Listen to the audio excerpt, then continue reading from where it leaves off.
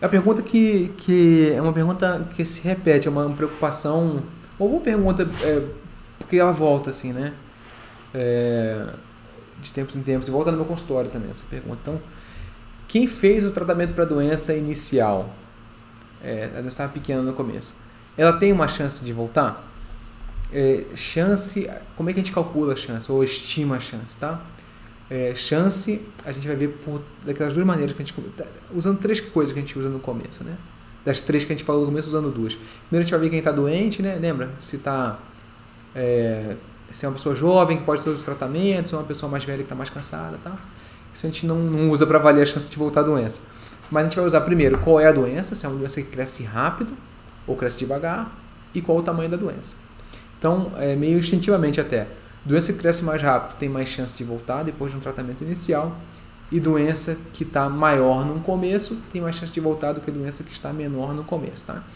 Então, que que a gente, para que, que a gente estima isso? Porque a gente vai usar mais ou menos tratamentos de acordo com a doença da cada pessoa. Então, se você pega um tumor de meio milímetro, é, que seja um tumor hormônio positivo, talvez a cirurgia seja o suficiente para tirar aquela doença com a terapia, enfim.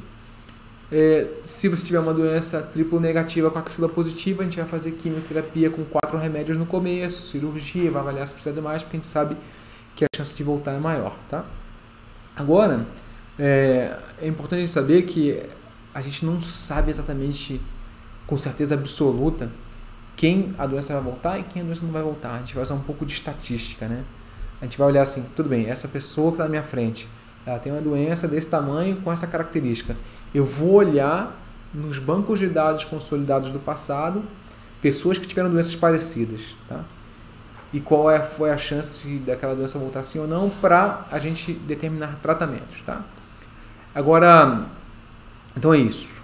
A resposta disso. É assim que a gente estima a chance. Agora, vale a pena, essa é uma questão filosófica, é, e pensem isso também, todo mundo, tá? É como eu penso, é como eu falo com meus pacientes, e eu acho que é como a gente vai viver isso, que a gente tem que viver vale a pena eu ficar me apegando de o meu risco de voltar é 10%, é 20, é 30, é 45.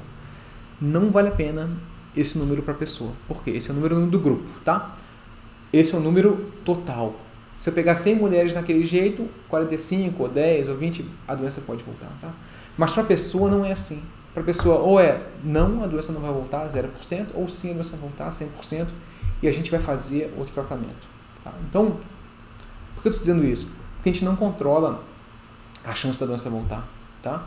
O que a gente controla é o que a gente vai fazer, tá? Então, é, eu gosto muito de botar nessa, dessa maneira, assim.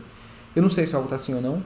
O que eu sei é que é, a gente precisa fazer tratamentos Y, Z, o que quer que seja, para reduzir esse risco e a gente vai fazer o melhor para a doença não voltar.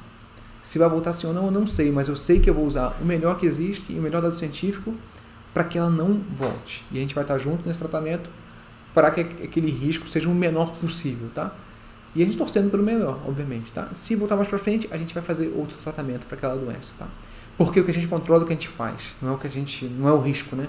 Então, eu sei que é uma coisa super angustiante esse negócio de risco, né? Qual é, a gente quer saber qual é o meu risco, qual é o meu risco.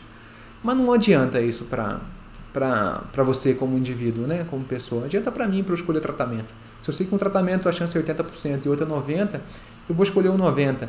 Mas para você ou é 100 ou é zero. Então, vamos tentar não, não nos apegar tanto no negócio do, da estatística e vamos apegar mais no que a gente faz, porque o que a gente faz é o que a gente pode estar tá na nossa mão, né? O, a estatística não está na nossa mão, tá? Façamos esse exercício. É meio complicado, sei que é meio dureza esse exercício, mas façamos o exercício, que é melhor, tá?